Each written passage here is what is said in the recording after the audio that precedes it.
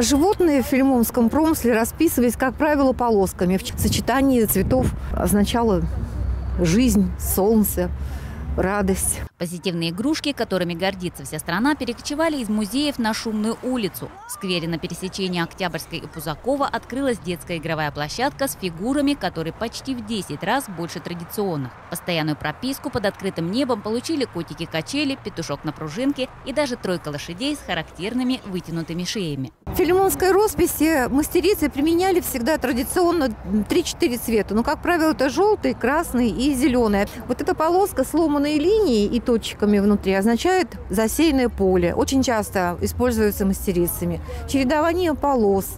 Это, как правило, тоже определенный ритм, как в музыке.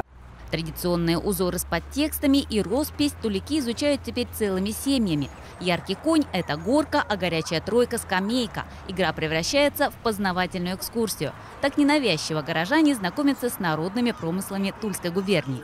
То, что нравится ребенку, соответственно, нравится мне. Вот он как бы тоже изучает, ему все интересно.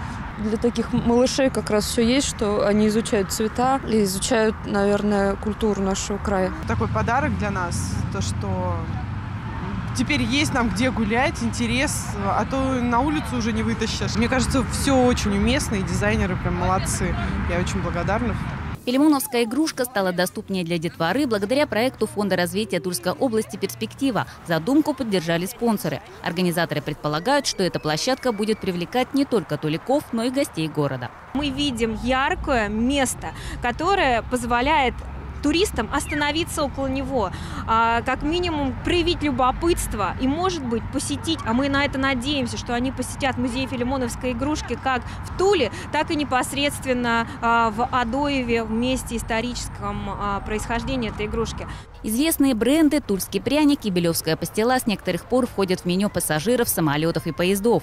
Эта местная достопримечательность и детям, и взрослым тоже будет напоминать о наследии российского масштаба – игрушках из деревни Филимонова. Валя Шарыпова, Павел Тюкавкин, Первый Тульский.